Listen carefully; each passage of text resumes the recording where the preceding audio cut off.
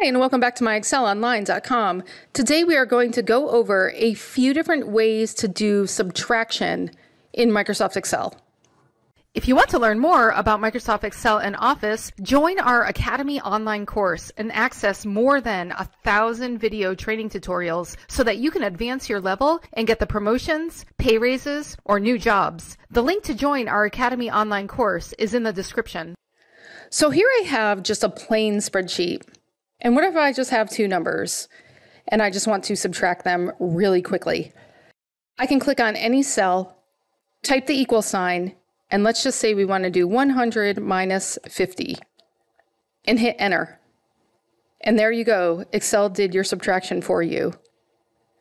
But if I click on our second example, what if I want the difference between two cells?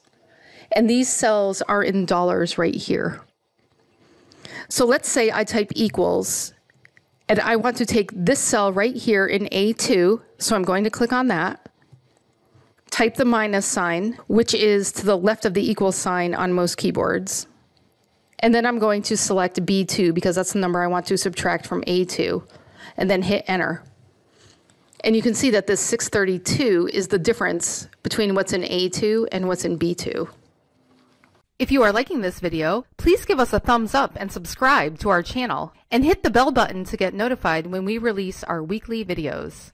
Another difference I can do is date subtraction.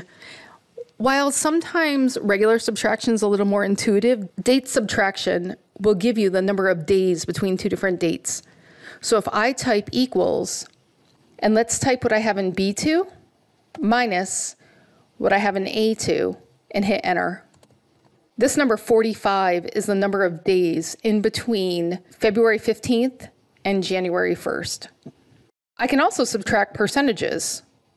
If I click in C2, I can type equals and click on A2 and then hit minus what's in B2 and hit enter. And I can see that this difference is 70%. Excel allows you to expand that kind of subtraction to lots of different number types, including dates, time, percentages, etc. We go over the time one and another one a little bit more on our blog. So if you would like to, I will include that link in the description to this video and you can check that out. If you have any questions or comments, please leave them below and we'll get back to you. Thanks for watching and see you again next time.